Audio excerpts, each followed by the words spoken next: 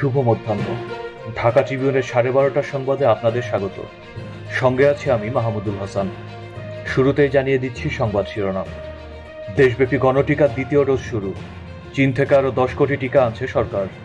বরিশালে নয় নদীর পানি বিপদসীমার উপরে। করোনা ভাইরাসে বিশ্বব্যাপী কমেছে সংক্রমণ মৃত্যুর সংখ্যা। পানশিরে পতাকা উড়ালো তালেবান। এবারে বিস্তারিত সংবাদ। দেশব্যাপী করোনা ভাইরাসের গণটিকাদান কর্মসূচির দ্বিতীয় ডোজ প্রদান শুরু হয়েছে। আজ সকাল থেকে শুরু হয় এই টিকাদান কার্যক্রম। এর আগে সোমবার বিকালে প্রধানমন্ত্রীর মুখ্য সচিব ডক্টর আহমদ কাইকাউস দ্বিতীয় ডোজ টিকাদান কার্যক্রম শুরুর কথা জানান। তিনি জানান, গণটিকাদান কার্যক্রমের আওতায় যারা সাত ও আট আগস্ট প্রথম ডোজের টিকা গ্রহণ করেছেন, মঙ্গলবার তারা একই কেন্দ্রে দ্বিতীয় ডোজের টিকা গ্রহণ করবেন। চীনের সিনোফার্ম এবং সিনোভ্যাকের প্রায় দশ কোটি করোনার টিকা কিনতে যাচ্ছে বাংলাদেশ। টিকার বৈশ্বিক উদ্যোগ কোভেক্সের মাধ্যমে এই টিকা কেনা হচ্ছে। সাশ্রয়ী মূল্যে কেনা এসব টিকা আগামী অক্টোবর থেকে দেশে আসার কথা রয়েছে।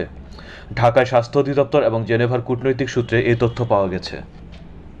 বঙ্গোপসাগরে সৃষ্ট লঘুচাপ ও অমাবস্যার প্রভাবে দক্ষিণাঞ্চলের নয়টি নদ নদীর পানির প্রবাহ বিপদসীমা অতিক্রম করেছে।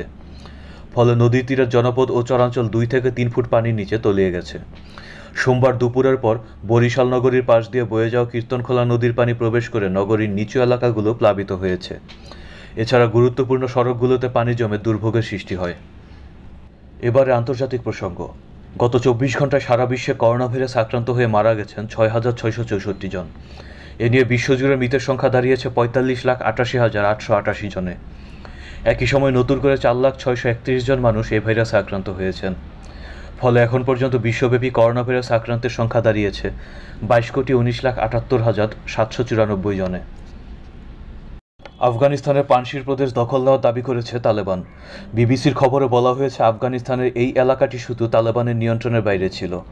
পানশিরের দখল নেওয়ার পর সেখানের একটি ভিডিও প্রকাশ করেছে তালেবান।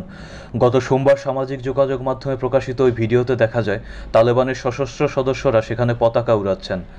যদিও তালেবান বিরোধী এনআরএফের পক্ষ থেকে ভিন্ন কথা বলা হয়েছে। তারা বলছে, গুরুত্বপূর্ণ জায়গাগুলোয় তারা নিজেদের অবস্থান ধরে রেখেছে এবং লড়াই চালিয়ে যাচ্ছে। নিয়মিত আপডেট পেতে চোখ রাখুন ঢাকা টিভিউন ওয়েবসাইট এবং সোশ্যাল মিডিয়া পেজে। পরবর্তী সংবাদ শোনার আমন্ত্রণ, ধন্যবাদ।